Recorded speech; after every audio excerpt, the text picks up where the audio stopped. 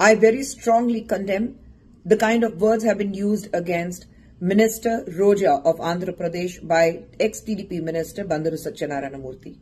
It just shows his class, his insecurities and his patriarchal misogynist mindset where a man thinks he has all the rights to malign a woman when he has failed miserably. This act of Bandaru Satyanarayana just shows that he has failed not only as a man but as a human. He has failed the people of his constituency. He has failed the woman who has raised him. No man who respects a woman will ever speak in such a deploring manner. Mr. Bandaru Satyanarayana you need to issue a public apology to Roja. I stand here with Roja today not because she is a friend, but because I'm a woman myself.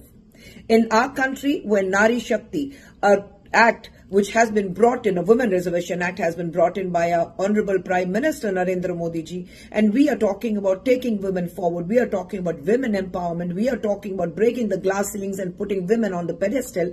Here we have people like you who think it's your birthright to malign a woman using such a foul language. You should be ashamed of yourself. And I stand with Roja and I will fight for her till you do not issue an apology. And I think you are not the minister anymore, but whatever position you hold today, as a man, as a human, you should give up on that and say, I am sorry for speaking about women in such a deploring manner. It's very shameful to see that you were chosen by people to represent your constituency and your state. Mr. Bandaru uh, Satyanarayana Murthy, I think you have lost it.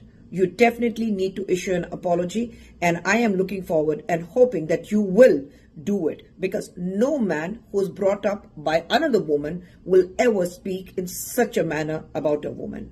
Shame on you.